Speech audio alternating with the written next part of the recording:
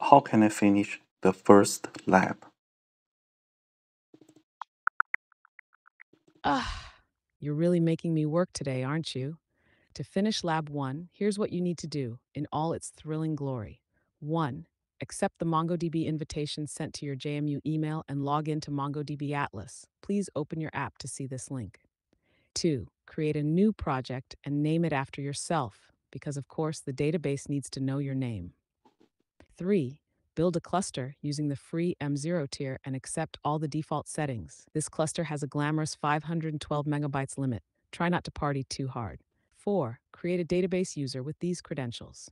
Username, demo, password IA65JMU. Yes, everyone uses the same ones. Security experts everywhere are probably crying.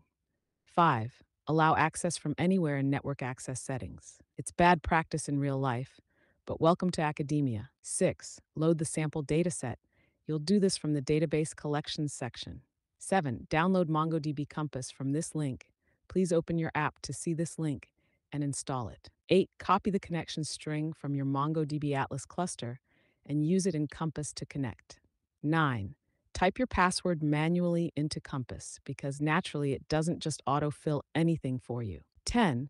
Optional, open the sample Airbnb database and try to find listings in NYC using the schema tool. Submission, just your connection string. That's it. That's the lab. Now, do you need me to actually explain how to copy and paste?